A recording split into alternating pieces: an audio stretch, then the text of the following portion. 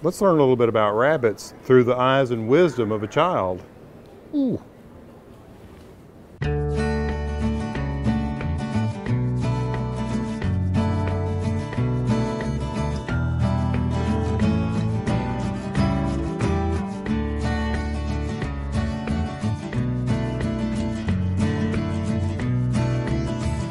When was the first time you showed rabbits? Uh, when I was one years old. One. Oh, come on. Serious. You were had- one year old rabbit Yeah. shower? That's fabulous. Yeah. And you've been showing ever picture of it. since. And how old are you now? I'm 10. 10. 10 years of rabbit showing. That's I've, excellent. I've had rabbits all my life. that is great. Which tell me about this breed. Is that a little chinchilla? Chinchilla mini satin. A mini satin. And why, why is it called a mini satin? Because of the, the hair color and the, the texture of the hair? It is the texture, it's not the color. Oh, I see. And also, chinchillas mini satins are really hard to find.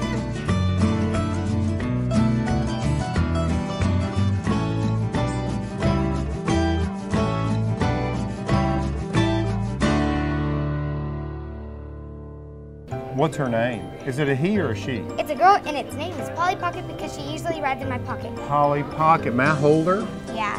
Oh, that's great. Thank you. Look at her. She's tiny. Is she full grown? Nope.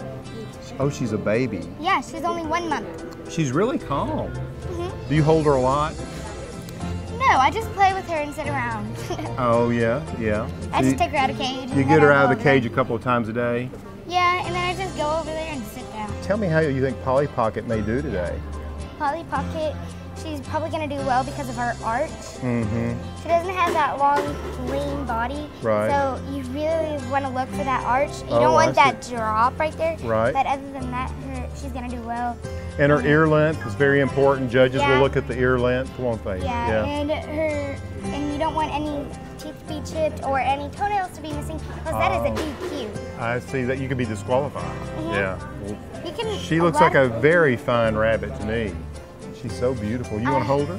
yeah. Hey, I like your apron, by the way. It's got a rabbit on it. Yep. That's pretty cool. It's a um, Florida White. A Florida White. That's very good. Well, I, I hope Miss Polly Pocket wins grand champion. Me too. I really hope so. good luck.